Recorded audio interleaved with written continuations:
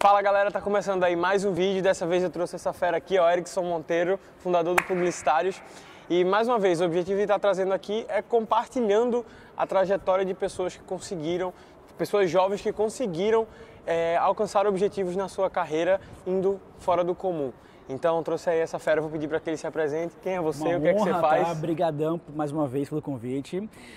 É, basicamente, me chamo Erickson Monteiro, para quem não conhece, eu fundei o Publicitários, que é meu negócio, onde trabalhamos na parte de educação para profissionais de marketing e comunicação, também para empresários que têm interesse em expandir, em gerar resultado mais e mais em marca digital e comunicação, e como trabalhar mais a parte de dicas práticas aplicáveis, né, para os negócios prosperarem, crescerem mais, faturarem, gerarem muito mais vendas com marca digital. Então esse é o nosso grande propósito hoje na hora de trabalhar educação para empresários e profissionais. Né? Show de bola. E como que começou o Publicitários? Conta ah, aí, cara, como começou? Foi, um- foi um tempo assim meio estranho, mas foi um, um hobby, né? Que muitas vezes a gente tem um propósito de ter um negócio para crescer, para prosperar, mas nesse caso mesmo foi basicamente eu queria criar um negócio onde ele me trouxesse visibilidade para que um dia eu fosse trabalhar em uma grande agência em São Paulo. Esse era o grande propósito, né? Para trazer um negócio, trouxe visibilidade. E eu tinha meus 17 anos, estava na faculdade ainda, primeiro mês de faculdade, e eu tive a ideia de montar um blog onde ele falasse um pouco mais de resumo de que eu aprendi na aula. Ah, eu li um livro sobre brand, aí fazia um resumo do livro. Eu tinha uma aula de semiótica, fazia uma- um resumo da aula de semiótica. Inicialmente, esses artigos eram mais para auxiliar a galera da minha sala, né? Porém, muitos foram buscando no, no Google esses artigos e foi impactando aos poucos para muito mais pessoas.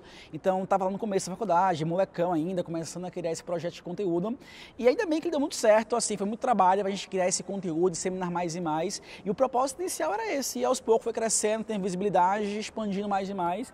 E ainda o foco é esse, né? Gerar conhecimento, porém agora mudou um pouco o formato. Ao invés de ser só o blog, também trabalhar a experiência offline, com treinamentos e assim vai. Show de bola. E aí uma coisa que eu gosto sempre é de pegar o link de coisas assim que aconteceram que a gente percebe que era um projeto que tinha um objetivo e que se tornou outro, né? Era um projeto, às vezes era um objetivo menor do que o que se tornou. E às vezes a gente tem uma ideia e é legal a gente ter ali uma visão, mas ao mesmo tempo não é porque a gente não chegou onde a gente gostaria de chegar, porque no teu caso se tornou superior. Mas para outras pessoas poderia ser outro caminho que ela vislumbrou tipo algo até um pouco maior, mas que aqui ela come- começou a ter sucesso e dali ela começar a crescer. Então muito legal esse ponto. E aí beleza, a gente fala publicitários, todo mundo já já conhece, etc. Mas para chegar até aí não foi tão simples assim, né? Para todo mundo que vê aí o palco, não vê de fato os bastidores. Me conta aí alguma coisa assim que algum momento que foi trash, algum difícil, para que fazer com que as pessoas também se conectem e olhem e digam, pô, se hoje o cara tá do jeito que tá, mas passou por isso, eu talvez nem passando por isso tô e, e posso ir fazer. Ah, muita gente na hora que vai te julgar, né, como ser um cara muito jovem, empreendedor, muita gente julga, fala que é muito difícil fazer isso, é difícil faturar um milhão, é difícil você é, viajar ao Brasil, é difícil você conseguir um negócio internacional, dá desculpas para dizer, para criar uma dificuldade, né? E eu tive um momento assim na minha vida, quando estava no meio do plug lá, né, 2014 mais ou menos, onde eu estava na transição entre, entre ser um empreendedor, atuar no meu negócio ou trabalhar para alguém. Então, antes de me dedicar 100% ao plug, eu passava, trabalhava em agência de publicidade, fazia parte de marca de conteúdo, anúncios, planejamento de mídia. E na minha última agência que eu trabalhei, eu fui demitido. A moça me chamou lá, tipo, a dona da agência, falou, ó, Erickson, eu percebi que você está muito desfocado da, da agência em si e eu quero uma pessoa que seja 100% agência. Então, você vai estar com a gente 100% ou você vai focar no seu negócio, que é Publicitários? E eu, claro, que eu optei por focar no meu negócio. E, E que vale lembrar que, ao mesmo tempo que tu focou nisso, tu que significou dizer que tu estava abrindo mão daquela certeza do mês, daquela segurança, daquela estabilidade, né? É, e o momento não foi tão fácil, não foi só uma demissão, ah, demiti, eu tô de boas e Aham. tal. Basicamente, na- naquele momento, eu tinha... Por que eu fui demitido? Porque num sábado, eu tinha feito um grande evento em Recife, para 500 pessoas. E na, na semana do evento, estava um pouco desfocado, estava muita ligação, estava com a correria de sempre na agência. E, mais claro, e nem, não é por isso que eu não deixei de entregar o meu resultado, meu trabalho, conteúdo tudo em dia tal. O problema é que muitas vezes, talvez a agência queria basicamente um operário de, de, de post e não queria a mente criativa, né? Então, por isso que eles queriam alguém realmente que fosse lá operário, chegasse às 9 da manhã, ligasse no notebook, vamos criar post, criar conteúdo e não queria um cara realmente pensasse na, na parte da estratégia criativa. Mas tranquilo, isso foi para mim uma parte muito triste naquela época, mas isso me impulsionou muito a longo prazo. E a parte ruim é que eu tive um problema com a sócia desse evento e infelizmente eu terminei um prejuízo muito grande, que na minha, época era muito grande, quase aí 8 mil reais. E aí vem, e aí, Erickson, sem emprego, 8 mil conto aí, tipo, com prejuízo, qual é a solução agora? Tipo, procurar outro emprego? Aí eu falei não, velho, eu nunca mais na minha vida, espero que não, tá? Espero que não, eu possa depender de alguém, né? Tipo assim, posso ter clientes que me auxiliem, mas não um chefe, uma agência, uma empresa tal. Então eu fiz uma loucura, uma loucura muito marcha, assim. Eu fui dar uma palestra em São Paulo, foi minha primeira vez em São Paulo como palestrante, numa faculdade lá, de graça, foi só para é, Semana de Comunicação e tal. E essa faculdade ficava muito próxima a um teatro lá em São Paulo. Né? Eu fui conhecer esse teatro e tal. Eu tinha um grande sonho, que era fazer um evento em São Paulo. Era meu grande sonho e tal. Tipo, tem feito evento em alguns estados já, mas São Paulo era o sonho ainda. Aí eu fui pro teatro conhecer. O rapaz falou, oi Eric, tudo bom? Tal. Então aqui é o teatro, massa. Adorei o teatro, ele cabia 800 lugares, era gigante o teatro. E ele falou a proposta, ele cobrou para o espaço 7 mil reais. Aí eu, caraca, 7 mil reais. Aí eu, 7 mil reais. Eu falei, mas como é que funciona o pagamento? Aí você paga metade agora e a metade alguns dias antes do evento. Aí eu pensei, pensei, não tinha dinheiro, falo com minha mãe e tal, para ver se ela faz alguma ajuda. Minha mãe disse que não, você é tô louco. Também? Aí eu cara, voltei pro cara. Mil, pediu demitido, foi demitido.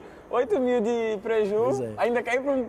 Nossa, velho. Aí eu, aí eu voltei, pensei, eu falei, cara, é o seguinte, contei minha história, tal, tal, falei, eu quero fazer uma contraproposta para você, que seria o seguinte, eu quero locar o espaço, eu quero fazer o que acontecer, porém, eu quero parcelar esse, esse valor aí em três meses, eu quero uma carência em 30 dias. Aí ele, não, não, qual a garantia? A garantia é o seguinte, Fazemos o contrato e se eu não cumprir com o contrato e pagar vocês os três meses, você dobra o valor da proposta e eu pago uma multa que é 100% do valor do, do aluguel. Aí o cara foi assim, sério? Eu falei, sério. Eu, assina o contrato. Aí ele, beleza. Aí eu me fugi, tava agora com uma dívida de 15 mil reais, né? Tem uma coisa, só um parêntese, tem uma coisa que eu chamo que é assim, velho. Coloca uma faca no seu pescoço, porque só assim parece que a coisa acontece. Aí eu fui, agora tinha a dívida de 8 mil e agora uma de 15 mil. E tinha um teatro com um contrato assinado para fazer um evento em dois meses. Em dois meses. Aí eu, vamos lá, né? Era meu sonho. Aí eu pensei, se eu lotar esse teatro, eu vou tirar uma grana muito massa, vou pagar minhas contas, eu vou dar certo. Aí na correria consegui fazer curadoria de palestrante, montamos um time de 41 palestrantes no evento, alguns painéis, algumas palestras e lancei o evento. E para minha grande surpresa, voltamos o teatro.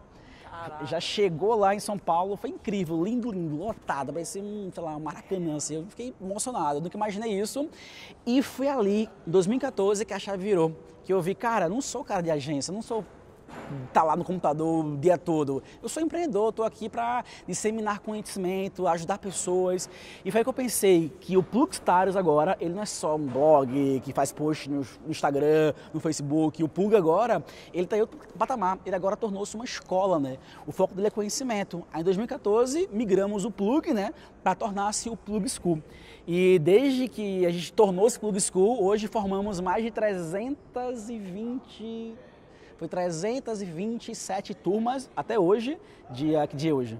Hoje é 17 de 17 agosto. de agosto. Foram 320, 2019. 2019, 327 turmas. E formamos mais de 30 mil alunos em todos os estados do Brasil, em 94 cidades, em 7 países. Então, assim, algo que era um risco muito louco, que foi um risco que fez eu visualizar que esse mercado de comunicação ele tinha uma grande carência de qualificação, de marketing. Hoje a gente entende que tem muita gente que dá curso de marketing e tal, virou algo muito mais comum hoje em dia, né? Mas ainda assim somos o pioneiro desse mercado na área de qualificação presencial. Agora estamos também focando muito na parte do online para escalar mais e mais esse conhecimento. Então, o princípio foi esse, de uma coisa que parecia ser impossível, ser muito difícil. Eu apostei, não sei se isso é uma boa sugestão para vocês, tá? Apostar 15 15 mil reais, assim, num contrato muito louco, mas deu certo aí, que bom que deu certo, né? Isso mudou a minha visão, mudou a minha perspectiva do meu negócio, né? Que era apenas um blog que fazia um postzinho ali, um postzinho aqui, para tornar-se uma escola onde o foco dela é qualificar todo o Brasil, né? Muito legal. E que história bonita, né? A gente fica ouvindo assim fica, caramba, é, visualizando o, o, o tamanho do projeto de uma ideia que a princípio tinha um objetivo mínimo e, e, simplesmente porque foi se criado alguma coisa, foi colocado à prova e uma parada que eu toco muito no ponto é assim, cara, se você está planejando aquilo ali e ao mesmo tempo não está entregando, mas aquilo é o projeto que você dorme e acorda, porque tem isso, tipo, a gente o tempo todo está assim, ah não, dorme pensando nisso, não, porque se eu fizer esse projeto vai dar muito certo. Aí fica com aquela esperança, mas aquilo não sai, mas aquilo não sai. E aí o meu conselho é fazer exatamente o que Erickson fez, se compromete com alguém sabe? Se compromete com as pessoas, posta nas redes sociais, faz isso. Pelo simples fato que duas coisas vão acontecer. Ou você vai executar o que você se comprometeu, que é o teu projeto pelo qual você está sonhando, ou você vai decepcionar todas as pessoas e de fato se prejudicar. Porque só dessa forma talvez vai ser por isso que você vai fazer. Então, cara, obrigado pelo papo. Agradeço. Te agradeço demais. Ah, agora eu queria te pedir, é, do meu coração aqui, que você desse um conselho aí para quem está pensando em começar agora, para quem já está com um projeto, o que, essa pessoa poderia fazer? Cara, o meu conselho, meu conselho assim, aquele, o, o, pode ser um pouco clichê, mas ou, muitas vezes o clichê ele é o fundamental, Sim, né? sem dúvida. É que a consistência hoje é muito importante. Eu vejo que muita gente é, quer visualiza muito o Instagram dos outros e fala, ah, tá, é João ali tem um Instagram que bomba, tá ganhando muito dinheiro com vendas de curso, treinamentos tal, e eu, eu quero ganhar muito dinheiro rápido, quero crescer muito rápido. E, gente, hoje em dia o que importa é consistência. Trabalha muito a longo prazo, não pensa que você vai faturar de seis em sete em uma semana.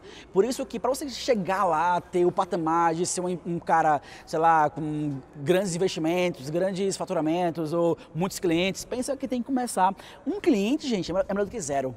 Dois clientes é melhor do que zero. Perfeito. Instagram, ah, eu quero ter 100 mil seguidores. Cara, tem mil pessoas, valoriza as mil pessoas. Eu sempre que falo. vai ser através é, dela, né? Claro, seja famoso com quem já lhe conhece. Porque assim, se você está tudo preocupado com a base externa e tem 100 mil seguidores, quer dizer que você não olhou ainda para a base interna. Então por isso você valoriza muito a base interna antes. Gera muito valor, cara. Conteúdo, trabalha a audiência. Porque assim, para se bater aí um milhão de faturamento por mês, cara, é para chegar lá, é, é, é, a diferença entre o hoje e o agora é só gerar valor. É gerar valor, conteúdo e tentar criar um conteúdo que de fato transforme alguma pessoa, né? Ajude ela em algo, não só venda, me compra, eu sou muito legal, eu sou muito bacana. É, de fato, você tem uma, uma intenção ali, né? Que é ajudar pessoas para que ela dissemine mais e mais seu conhecimento para mais pessoas e assim vai. Show de bola.